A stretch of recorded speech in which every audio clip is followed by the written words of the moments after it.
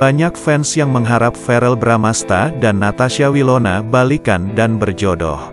Terkait ini, Vena Melinda menceritakan soal jodoh putranya itu. Dilansir dari Banjarmasin Post, artis Vena Melinda mengatakan bahwa ada satu syarat bagi pendamping Ferel Bramasta nantinya. 1. Natasha dan Ferel kembali dekat. Soal hubungan Ferel Bramasta dan Natasha Wilona, Vena menyebut akan mendukung setiap pilihan Ferel.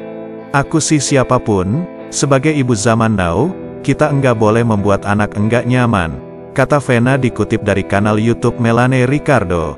Selasa, tanggal 23 November tahun 2021. Namun, Vena menyebut calon istri Ferel nantinya harus menyatukan. Pokoknya mau sama siapa saja yang penting menyatukan, tutur Vena. 2. Soal menyatukan, Vena Melinda berharap calon istri Ferel Bramasta nantinya menyatukan. Bagi Vena, arti kata menyatukan sangatlah luas. Bisa menyatukan buat aku artinya berhubungan dengan bagaimana karakter orang tersebut, bagaimana dia punya niat.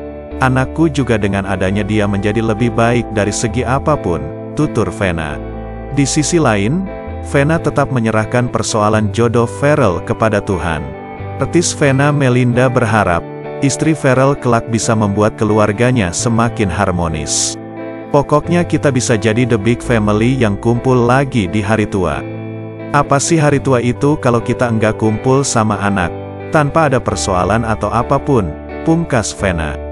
3. Perubahan Ferel Bramasta Sejak awal bercerai, aktris Vena Melinda tak menampik perubahan besar yang terlihat pada diri putranya, Ferel Bramasta. Diketahui, Vena bercerai dengan Ivan Fadila Sujoko Pats 2014. Namun, Vena memaklumi bahwa perubahan Ferel adalah kondisi yang wajar dialami anak-anak korban perceraian.